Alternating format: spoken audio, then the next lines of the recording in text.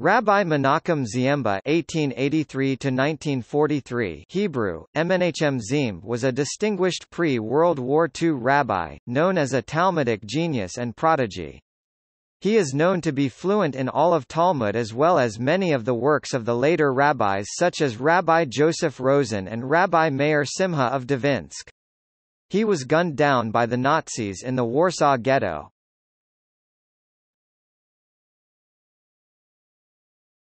Topic: Biography. Rabbi Ziemba was born in Praga, a suburb of Warsaw, in 1883. His father, Elazar, died while Menachem was still a young boy and the orphan was brought up by his grandfather Rabbi Avraham Ziemba.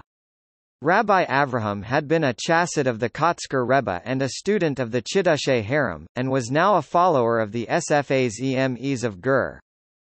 Rabbi Ziemba was brought up in the Gur Chassidus by his grandfather and remained a loyal chassid his entire life. Even years later when he was world-renowned as a Torah scholar, posek and master of Hasidic thought, he still considered himself a simple chassid of the Rebbe of Ger. When he visited Ger, he was called by his first name and refused to sit at the Rebbe's top table, an honor reserved for visitors of note. As Rabbi Ziemba grew up in Warsaw, he gained a reputation as a formidable Talmud Chacham scholar and dazzling genius. He maintained a unique correspondence with the Gaon of Rogatchow, a fiery individual not known for his tolerance of mediocrity, nor tolerance of younger students. At the age of 18, Rabbi Ziemba married the daughter of a wealthy local merchant. He was thus able to learn Torah unhindered for the next 20 years, a time remembered by him as the happiest years of his life. His fame spread further afield, attracting the attention of Rabbi Meir Simha of Dvinsk and others. He once confided that he authored more than 10,000 pages of Torah novelli during this golden period. When his father-in-law died, Rabbi Ziemba found it necessary to help out in the former store in order to continue supporting his family. He rejected numerous offers to serve as rabbi in many towns and cities, saying that he had more time to study while working than as a communal rabbi. However, at the request of his beloved Gur Rebbe, Rabbi Ziemba entered communal affairs. He was appointed the representative of Praga to the Kahila Council in Warsaw. Between 1930 and 1935, the World Economic Depression affected Rabbi Ziemba. His store was forced to close. He was offered the prestigious position of chief rabbi of Jerusalem, but turned it down.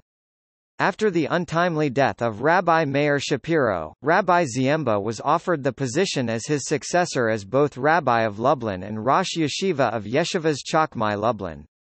For unknown reasons, this never came to pass.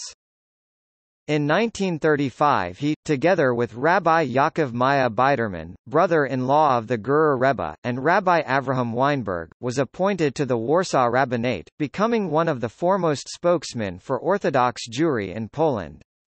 Aside from his newfound political prominence, Rabbi Ziemba became a halachic decisor of great importance, answering questions from around the world, as well as from Poland. Rabbi Ziemba also took an active role in the Agudas Yisrael at an early stage. At its first Knessia Gedolah Great Gathering, he was not yet 40 when chosen to serve as honorary secretary in the Moetzes Gedolei HaTorah. At the second Knessia Gedolah, Rabbi Chaim Ozer Grodzensky agreed to serve as chairman of the Moetzes Gedolei HaTorah only if Rabbi Ziemba would continue in his position, while the 45-year-old Rabbi Ziemba felt himself to be too young and sought to stay in the background. At the Third Knessia Gedolah in 1937 in Marienbad, Austria, which played witness to the last massive gathering of European Orthodoxy before the Holocaust, Rabbi Ziemba was at the height of his fame. He spoke twice to the full assemblage and each time was greeted with hushed silence and awe.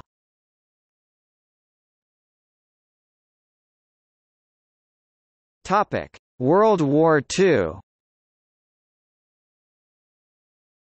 With the outbreak of World War II and the German invasion of Poland, Rabbi Ziemba became the single most important force in the Warsaw Ghetto. In the darkest days of despair, he was a source of hope, optimism and inspiration. He set up secret locations for the study of Torah, and at great personal risk, constantly visited these clandestine places to strengthen those who studied there. His wife died in the ghetto. Rabbi Ziemba was given two opportunities to escape from the ghetto.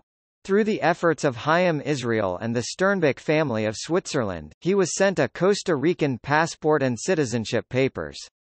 His last name, however, was misspelled Ziember instead of Ziemba. This was enough excuse for his papers to be declared void.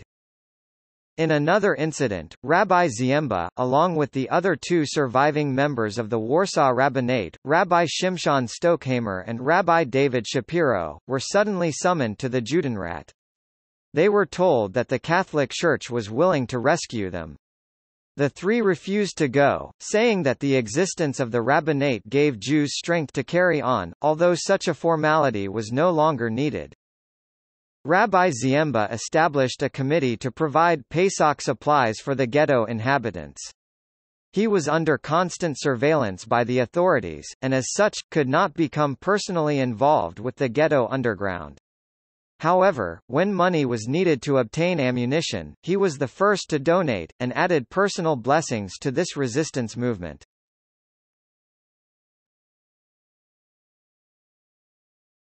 Topic. Death The Warsaw Ghetto Uprising began soon before Pesach. While the battle raged around him, Rabbi Ziemba prepared himself for the coming holiday as if nothing was happening. In the evening, the fighting stopped and Ziemba conducted the Seder as though the times were normal. The next few days were spent in hideouts watching the ghetto being burned. The Nazis were methodically destroying the ghetto, house by house, in order to break the resistance. Among those burning were the houses around Kupiecka 7, including the building where Ziemba was holed up. With the air thick with smoke and nearly impossible to breathe, Ziemba and the people with him decided to try to run across the street, past SS men manning machine guns, to the building where the Volia Rav, Rabbi Ber, was hiding. During a momentary lull in the shooting, when it seemed safe, Ziemba's daughter Rosa managed to run across first and then motioned to the others with her arm. Her signal was misunderstood. Believing it to be safe, Ziemba, holding his five-year-old grandson Yankele Ber by the hand, tried to make a run for dear life. Wild screams and gunfire ensued. Ziemba fell to the floor, the others retreated under the ferocious assault. The news of the rabbi's death quickly spread to all neighboring hideouts. In spite of the great danger, a number of minyanim gathered. A Beth Din was set up, which decided to bury the rabbi temporarily in a grave in the courtyard of Kupiecka 4. When the ghetto was finally liquidated, his entire immediate family was taken to Treblinka where they all perished.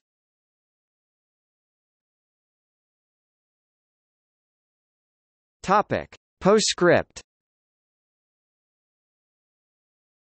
In 1958, upon learning that the Polish government was planning to rebuild the area of the ghetto that included Rabbi Ziemba's grave, his nephews Rabbi Avraham and Rabbi Yitzchak Meir Ziemba who were with him to the very end and others expended great efforts to exhume his body and bring it to Israel. After weeks of work by surveyors and others, his grave was finally located, all landmarks remembered by the survivors had been destroyed in the interim. His body was flown to Israel and after a funeral attended by all the Moetzes Gedolei HaTorah and tens of thousands of people, he was finally laid to rest on Har Hamenuchot.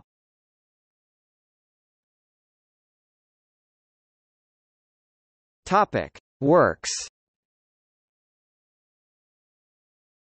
Totzaos Chaim, a work on the laws pertaining to carrying on Shabbos, written in honor of Rabbi Ziemba's father-in-law who died in 1920. Zera Avraham seed of Abraham, a correspondence between Rabbi Ziemba and Rabbi Avraham Luftbier of Warsaw, who died at a very young age. Ger Aryeh Yehuda, a book of novelli by Moshe Yehuda Aryeh, Rabbi Ziemba's prodigious son, who died at the age of 19 in 1924. It also contained some correspondence between father and son. Tens of thousands of pages of works authored by Rabbi Ziemba were destroyed in the burning of the Warsaw Ghetto.